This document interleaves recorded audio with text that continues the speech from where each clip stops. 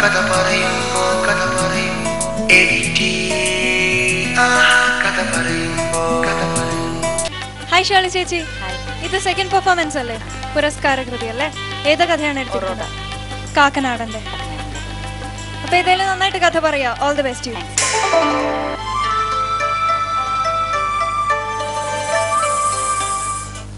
വടക്കൻ തിരുവിതാംകൂറിൽ മീനച്ചിലാറിന്റെ തീരത്തുള്ള ഒരു ഗ്രാമം.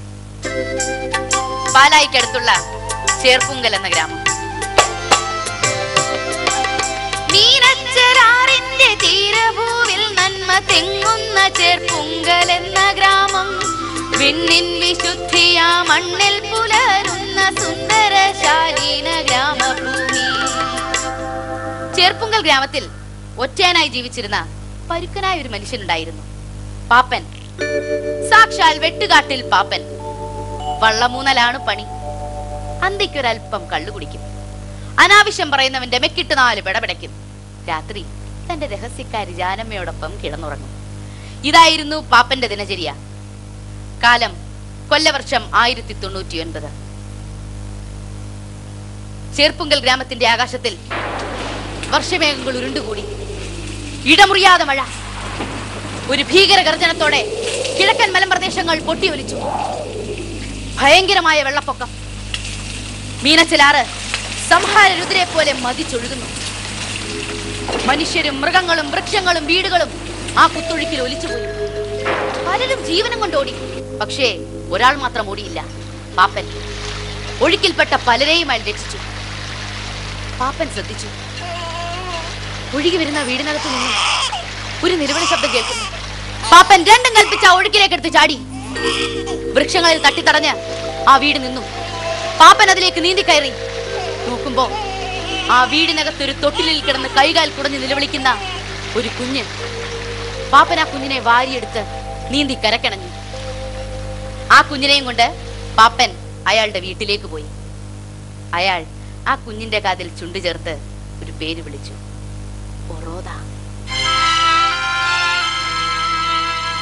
വിശ്രുത മലയാള സാഹിത്യകാരൻ ശ്രീ ജോർജ് വർഗീസ് കാക്കനാടിന്റെ കേരള സാഹിത്യ അക്കാദമി അവാർഡിന് അർഹമായ ഒരു കൃതിയുടെ കഥാപ്രസംഗ രൂപം അതേ പേരിൽ ഒറോദ. ഒറോദ ഒറോദ.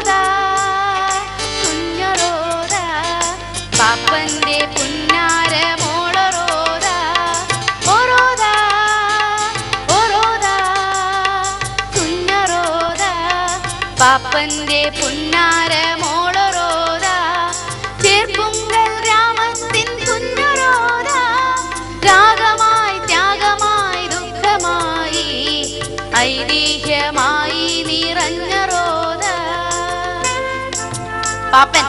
ആ കുഞ്ഞിനെയും കൊണ്ട് തന്റെ ഇഷ്ടക്കാരി ജാനമ്മയുടെ അടുത്ത് ചെന്നു. സുന്ദരി കോത. എന്താ പാപ്പൻ ചേട്ടാ പേര്? എടി എന്റെ മോളുടെ പേര് ഒറോദ. ഒറോദ ഒറോദ കുഞ്ഞൊറോദ. അങ്ങനെ പാപ്പനും ജാനമ്മയും കൂടി ഒറോദയെ വളർത്തി. ജാനമ്മയുടെ മകൻ മുത്തുകൃഷ്ണനോടൊപ്പം ഒറോദ കളിച്ചു വളർന്നു. ഒറോദയ്ക്ക് ഏഴു വയസ്സുള്ളപ്പോൾ അവളെ സ്കൂളിൽ ചേർത്തു. പഠിക്കാൻ ബഹുമിടുക്കി. ക്ലാസ്സിലാണെങ്കിൽ ഒന്നാമത് ഒറോദ വളർന്നതോടൊപ്പം പാപ്പന്റെ ശീലങ്ങളിലും മാറ്റമുണ്ടായി. അപ്പ ഇനി ഇങ്ങനെ കുടിച്ചിട്ട് വന്നാലുണ്ടല്ലോ. ഞാൻ ഇനി അപ്പനോട് മിണ്ടുകയല്ല അങ്ങനെ പറയല്ലേ എന്റെ മോളെ. നീ ഇല്ലെങ്കി ഈ അപ്പന് പിന്നെ ആരാ? അയ്യോ അപ്പ മോൾ കരയാൻ പറഞ്ഞതല്ല. കാലം കടന്നുപോയി. ഒറോദ യൗവനത്തിലേക്ക് കാലൂന്നി. ആ ഗ്രാമത്തിലെ യുവാക്കളുടെ ശ്രദ്ധാകേന്ദ്രമായി തീർന്നു ഒറോദ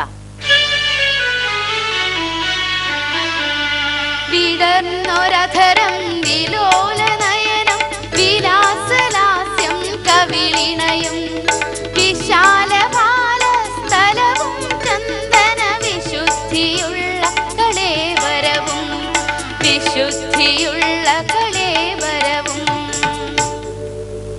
അന്നൊരു ദിവസം പള്ളിയിൽ പോയി മടങ്ങി വരുമ്പോ പ്രമാണിയായ ദേവസ്വിയുടെ മകൻ കൊച്ചുതൊമ്മി പുറോതെ നോക്കി ഒന്ന് കളിയാക്കി. ആളൊരു സുന്ദരിയാണല്ലോ. പാപ്പന്റെ മോളാണല്ലോ നിന്റെ ശൃംഗാരം. അധികം വളച്ചിലെടുക്കല്ലേ? എന്നതാടി നീ പറഞ്ഞേ? പാപ്പന്റെ മോളോ? തൊണ്ണൂറ്റൊമ്പതിലെ വെള്ളപ്പൊക്കത്തിൽ ഒലിച്ചു വന്നവളല്ലേടി നീ? ഇത് കേട്ട് കരഞ്ഞുകൊണ്ട് അവൾ വീട്ടിലേക്ക് ഓടി.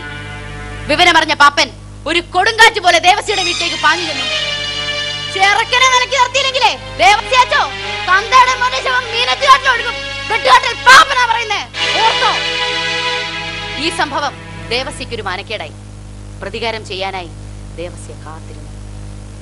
ഒറോദയ്ക്ക് വയസ്സ് പതിനെട്ട് തികഞ്ഞു. വിവാഹാലോചനകൾ പലതും വന്നു. പക്ഷേ എല്ലാം മുടങ്ങി. പാപ്പൻ വിഷമത്തിലായി. പാപ്പൻ ചേട്ടൻ വിഷമിക്കണ്ട. ഞാനൊന്ന് പറയട്ടെ. ചേട്ടന്റെ ബന്ധത്തിലെ ത്രേസ്യാമ്മയുടെ മോൻ കുഞ്ഞുവർക്കിയെ കൊണ്ട് ഒറോതെ കെട്ടിച്ചാൽ എന്നാ ആലോചന നടന്നു. ഒറോദയും കുഞ്ഞുവർക്കിയുമായുള്ള വിവാഹം ചേർപ്പുങ്കൽ പള്ളിയിൽ വെച്ച് മംഗളമായി നടന്നു. ഒറോദ കുഞ്ഞുവർക്കിയുടെ മണവാട്ടിയായി. വിവാഹം കഴിഞ്ഞതോടെ ഒറോദയുടെ കുട്ടിത്തം ആകെ മാറി. ഒറോദ രണ്ടാൺകുട്ടികളുടെ അമ്മയായി. പാപ്പൻ ആ പേരക്കിടാങ്ങളെ തോളത്തിലേറ്റി നടന്നു. അന്നൊരു ദിവസം പാലാ വലിയ പള്ളിയിലെ രാക്കുളി പെരുന്നാൾ വന്നു. പെരുന്നാൾ കാണാൻ പോയ പാപ്പൻ ഞാൻ വേറെ കഴിഞ്ഞിട്ട് മടങ്ങി വന്നില്ല. നേരം പുലർന്നിട്ടും വന്നില്ല. ഒറോദയ്ക്ക് പരിഭ്രാന്തിയായി. ഒറോദ കുഞ്ഞുവർക്കി വിളിച്ചുണർത്താൻ തുടങ്ങുമ്പോ ദേ മുത്തുകൃഷ്ണൻ ഓടി വരുന്നു. കുഞ്ഞുവർക്കി ഇന്നലെ ദേവസ്വയുടെ ആൾക്കാര് പാപ്പൻ ചേട്ടനുമായി അടിപിടി ഉണ്ടായി. പാപ്പൻ ചേട്ടനെ കാണാനില്ല. പക്ഷേ പിറ്റേന്ന് പ്രഭാതത്തിൽ കണ്ടു തൊട്ടടുത്ത പൊന്തക്കാട്ടിൽ വെട്ടും കുത്തുമേറ്റ് ചോരയിൽ കുളിച്ചു കിടക്കുന്ന പാപ്പന്റെ ശവശരീരം. വിവരമറിഞ്ഞ ഒറോദ ഒരു കൊച്ചു കുഞ്ഞിനെ പോലെ തേങ്ങിക്കരയുന്നു. അച്ഛനായ അമ്മയായ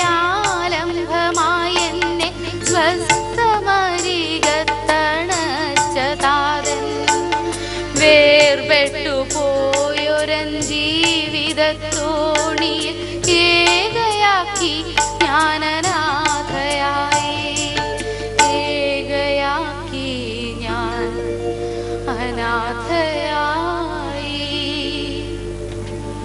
പാപ്പന്റെ മരണത്തോടെ ഒറോദയുടെ ജീവിതം ദുരിതപൂർണമായി തീർന്നു.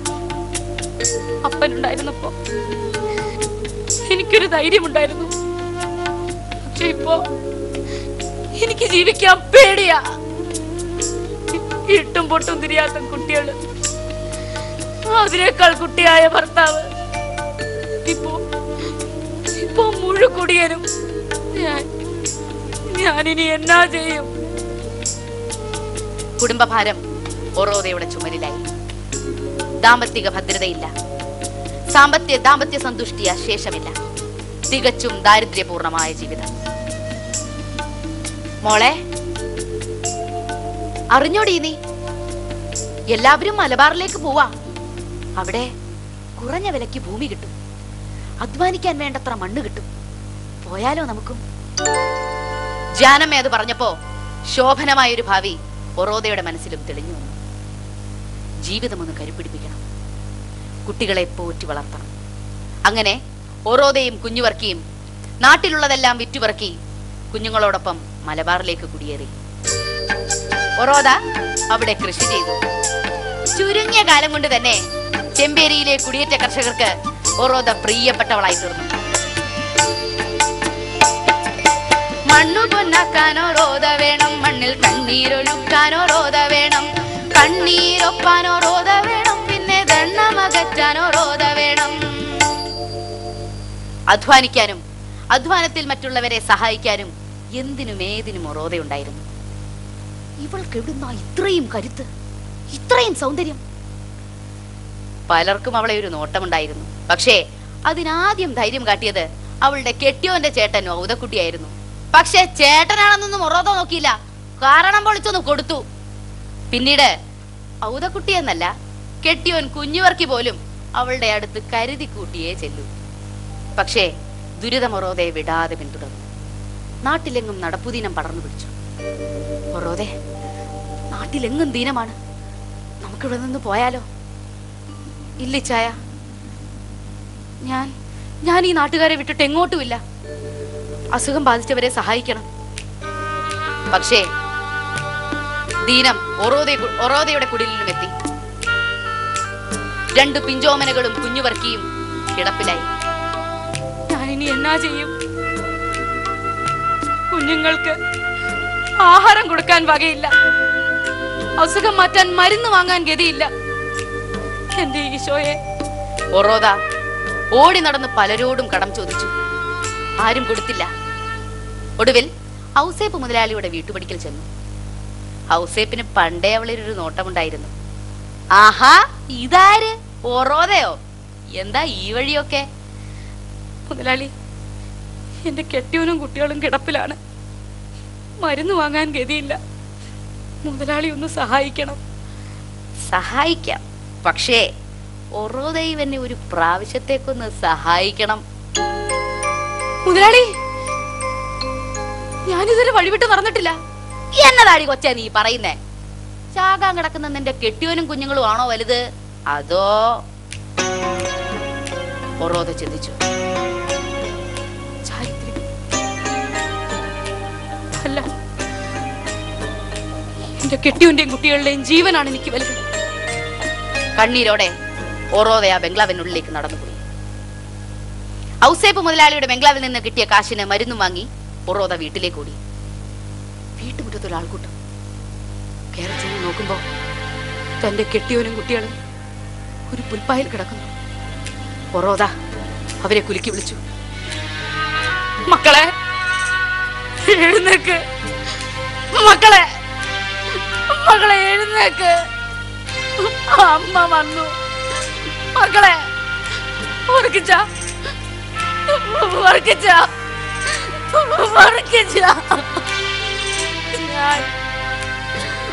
മരുന്ന് വാങ്ങാൻ കയ്യിൽ പണമില്ലായിരുന്നു.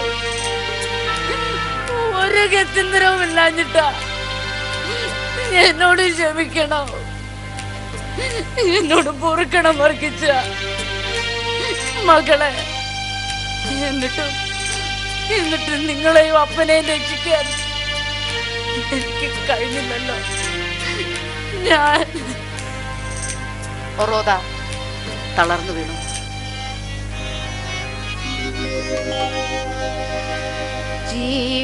ജീവിതത്തോണിയിൽ നീറും മനസ്സുമായി ഏകയായി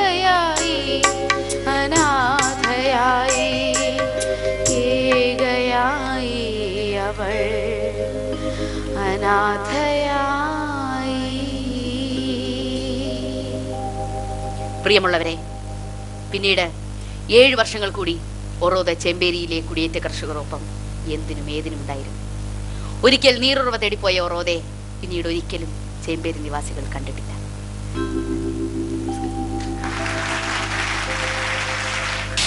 കഥ പറയും കഥ പറയും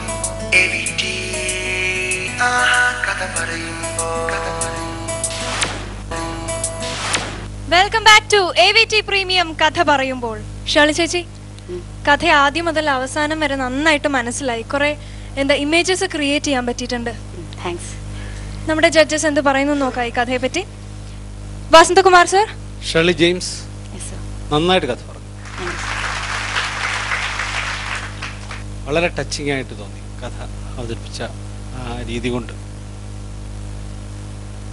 ശരിക്കും പറഞ്ഞാൽ ഈ കഥ ജീവിതത്തിന്റെ ഒരു ഒരു പരിച്ഛേദമാണ്. ഒരു ചിന്താണ്.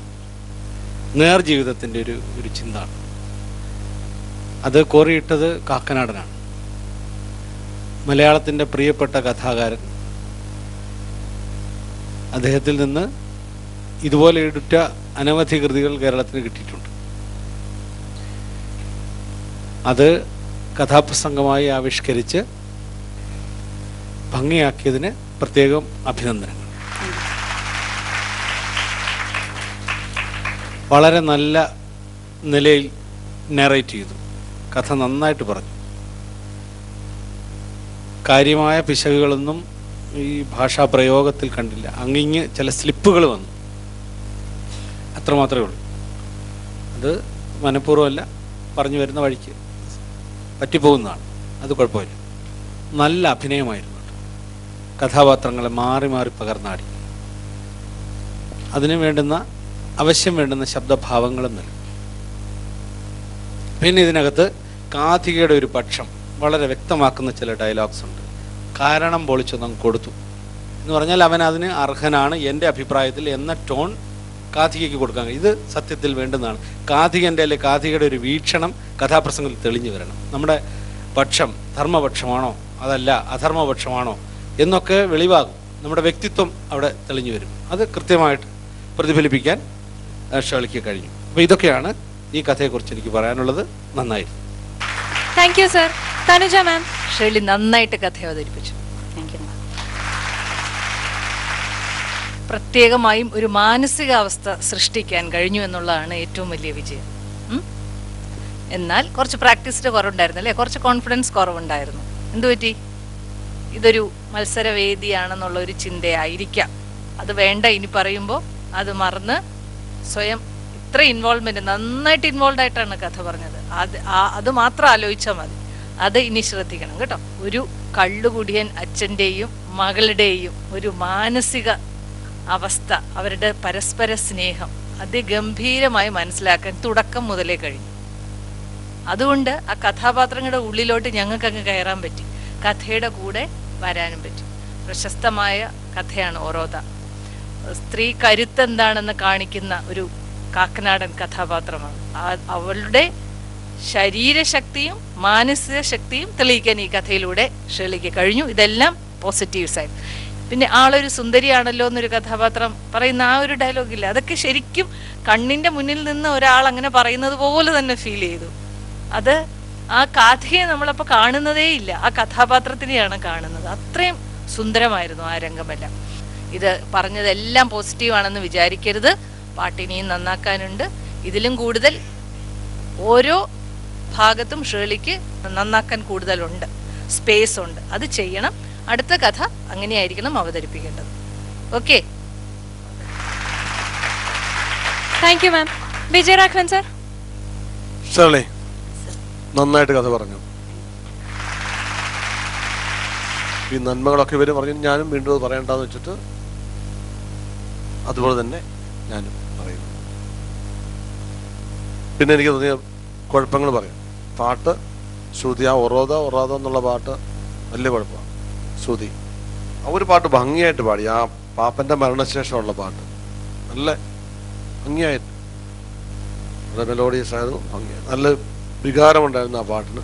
നല്ലൊരു നടിയാണ് അഭിനയിക്കാൻ സാമാന്യ കഴിവുണ്ട്. വളരെ പെട്ടെന്ന് ക്യാരക്ടേഴ്സിനെ മാറ്റാൻ പറ്റും.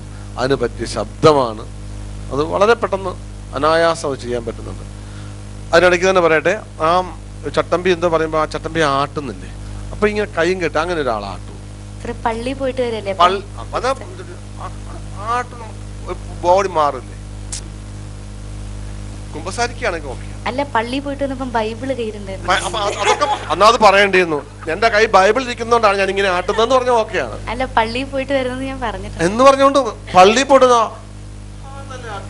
ബൈബിൾ ഇങ്ങനെ വെക്കണം നിർബന്ധമുണ്ടോ. ബൈബിൾ ഇങ്ങനെ ബൈബിൾ താത്തിക്കൂടെ അല്ല പണ്ടത്തെ കാലത്തെ പെൺകുട്ടികൾ പണ്ടത്തെ കാലത്ത് ഇങ്ങനെയാണ് ആട്ടുന്നത് പെണ്ണുങ്ങൾ. അല്ല ഇങ്ങനല്ലേ നടക്കുള്ളൂ. അപ്പൊ ബൈബിൾ ഇങ്ങനെ അതല്ല നമുക്ക് ഓരോ വികാരം കൊണ്ട് നമ്മുടെ ബോഡിയിൽ മാറ്റം ഉണ്ടാകും വെറും ശബ്ദത്തിൽ മാത്രമല്ല എന്നാണ് ഇതിന്റെ അർത്ഥം. മനസ്സിലായോ. പിന്നെ കഥയിലെ അവസാനം ഈ കഥാപ്രസംഗം അങ്ങോട്ട് തീർക്കാൻ വേണ്ടി ഒരു പാട് പാടുപെട്ടു ഭർത്താവും കുട്ടികളും മരിച്ച ശേഷം കഥ തീർക്കുമ്പോഴേ. അവസാനം നമ്മൾ ചില കഥ കഥകൾ പറയും ആ അങ്ങനെയാണ് എല്ലാം കൂടെ സന്തോഷമായിട്ട് കഴിഞ്ഞു. എന്ന് പറഞ്ഞ പോലെ ഇങ്ങനെ ഒരു കറക്കിക്കുത്തായി പോകും അത് പാടില്ല. ഈ കഥയിൽ ഇവർ മരിച്ച ശേഷമുള്ള ജീവിതം ഉണ്ട് അത് ഒന്ന് രണ്ട് വാക്കുകൾ മതിയായിരുന്നു. ഒരു ഒന്ന് രണ്ട് വാചകത്തിൽ പറയാമായിരുന്നു. ഈ പറഞ്ഞില്ലേ? ഇപ്പോഴും അബ്രപ്റ്റ് ആയിപ്പോയി. ആ അത് ഫീൽ ചെയ്തത്. അങ്ങ് ഫീൽ ചെയ്ത് എനിക്ക്.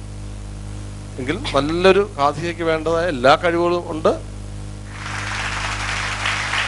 Thank you sir Vasanthakumar sir Sheli ചേച്ചിയുടെ ഇന്നത്തെ കഥയ്ക്ക് എത്ര മാർക്കാണ് കൊടുക്കുന്നത്? Thanuja ma'am twenty one Vijayaraghavan sir twenty and four consistency Thanuja ma'am seven Sheli ചേച്ചിയുടെ ഒറോദ എന്ന കഥയ്ക്ക് ലഭിച്ചിരിക്കുന്ന total score sixty nine out of hundred കഥ പറയും കഥ പറയും എഡിറ്റ്